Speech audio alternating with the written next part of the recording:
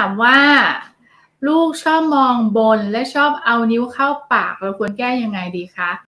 สอบถามขอคำปรึกษาเพิ่มเติมกับครูแมมตลอดจนสินค้าและบริการ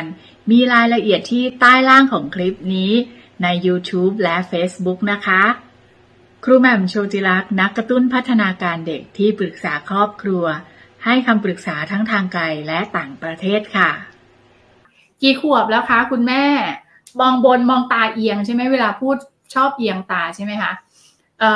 อน่าจะมีเรื่องของกล้ามเนื้อตาไม่ค่อยแข็งแรงด้วยเนาะถ้ากล้ามเนื้อตาไม่ค่อยแข็งแรงเราก็ต้องชวนลูกแบบกรอกตานะคะ เอาของที่ลูกสนใจเนี่ยอ่าสามขวบแล้วใช่ไหมเอาของที่ลูกสนใจอาจจะให้คนหนึ่งอะ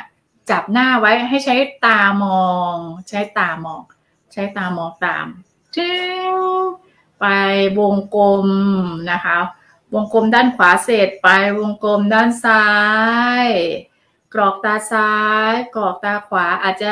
อย่างอย่างละสองครั้งก่อนก็ได้ ไม่รู้ว่าลูกจะทำได้ไหม เริ่มจากง่ายไปยากนะคะ เริ่มทีละนิดให้ตา ให้กล้ามเนื้อตาแข็งแรงน้องก็จะมองตรงได้ดีมากขึ้น เวลาที่น้องมองเอียงนะคะ เคยไหมเคยไหมใครเคยอยู่ดีๆ ตัวเองเผลอเอียงไหมเอียงแล้วก็มอง